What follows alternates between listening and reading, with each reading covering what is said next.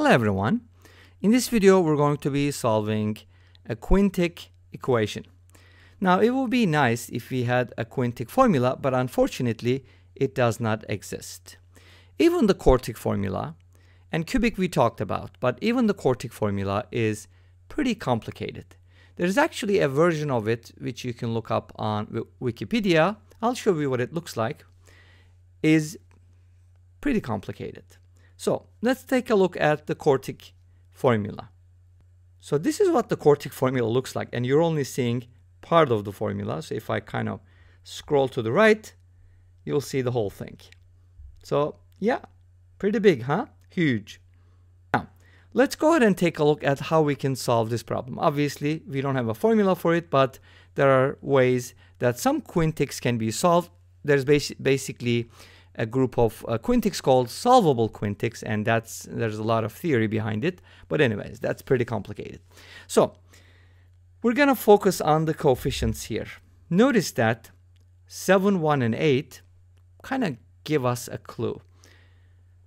7 plus 1 is equal to 8 that means the odds are equal to evens. What do I mean by e odds and evens? If you Look at the powers of x. This is x to the power 1. This is x to the power 5. And this is x to the power 0. So if you group the coefficients uh, as evens and odds, then the sum in each group, you know, equals each other. So this tells us something important. And I think we talked about this in another video, maybe a couple videos. This means that x equals negative 1 is a solution. And that's good. And if x equals negative 1 is a solution, that means by factor theorem or some theorem, something like that, x plus 1 is a factor. Since x plus 1 is a factor, we can go ahead and factor this equation. Let's go ahead and do that by manipulating the coefficients and terms. So I'm going to start off with 7x to the fifth power. I probably need more room. Let's start here and then I'm going to add 7x to the fourth power so that I can take out x plus 1 as a common factor, right? Okay. This gives us 7x to the fourth multiplied by x plus 1. But I can't just add 7x to the fourth. I have to subtract it to balance the equation. But that means we do need to follow up with a negative 7x to the power 3 so that we can get the x plus 1 again. All right? But that means we have to add 7x cubed and that requires a 7x squared to be added and then to be subtracted. And then of course, a negative 7x needs to be added. And then we're going to have to finish this up. Uh, we do have 1x in our equation. Remember the original one. So we have to add 8x and then the constant term is 8, which shows that what we did is correct because x plus 1 now you can get from each group. So we're going to factor by grouping. So we're going to pair these up. And now take out 7x to the fourth times x plus 1. And then minus 7x cubed times x plus 1 plus 7x squared times x plus 1 minus 7x times x plus 1 and finally plus 8 times x plus 1. And since x plus 1 appears everywhere, we can take out x plus 1 and write this as 7x to the fourth minus 7x cubed plus 7x squared minus 7x plus 8. All right, great. What are we going to do next? Set this equal to 0. And we do know that this gives us x equals negative 1. Awesome. So we got one of the solutions, x equals negative 1. But what about the quartic, right? We do have a quartic equation which we have to solve. Or do we have to solve it? Let's go ahead and take a look at the roots of this quartic equation.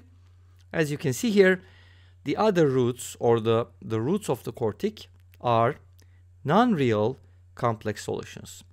So they are solutions, but we're kind of looking more for real solutions and we got one solution only. So this equation, this quintic, has only one real solution.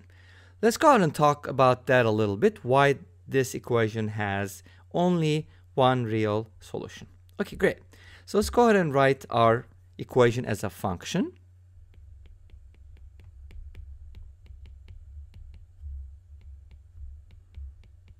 So we got 7x to the fifth plus x plus 8. And then I'm going to differentiate this function and find something interesting from here. We get 35x to the fourth power plus 1. Now, if I'm trying to find the critical points, I will set the derivative equal to 0. And if I solve for x, I'll get x to the fourth equals negative 1 over 35. But unfortunately, no real number raised to the fourth power is going to give us a negative answer. So this equation has no real solutions. Now what is that supposed to mean? This function has no critical points, no maxima or minima, because the first derivative cannot equal 0. No maxima or minima. Great. What is that supposed to mean though? Let's go back to the der derivative. The first derivative was 35 x to the fourth plus 1. And notice that this expression is always greater than 0 for all x values in the domain. Great.